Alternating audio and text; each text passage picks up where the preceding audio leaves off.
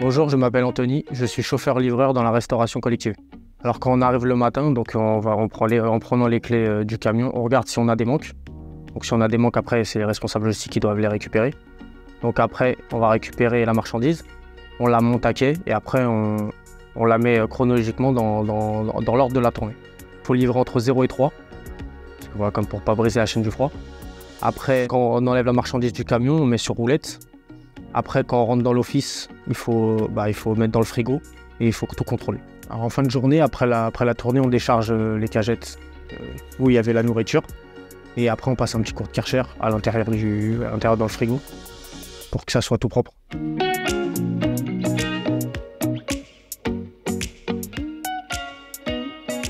Pour être chauffeur-livreur, il n'y a pas besoin spécialement de faire d'études, mais il faut au moins le permis B. Voir euh, si, par exemple, vous, conduisez un poids lourd, voir le poids lourd.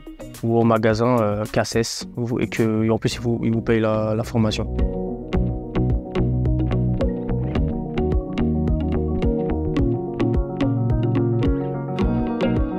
Alors, après chauffeur-livreur, les évolutions possibles sont responsable logistique. Après responsable logistique, responsable de flux.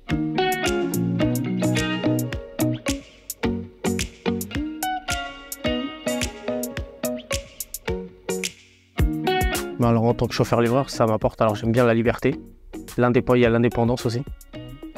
Et euh, la satisfaction aussi, euh, livrer les enfants. Euh, que les enfants aient leur repas. Donc ça m'apporte de la satisfaction.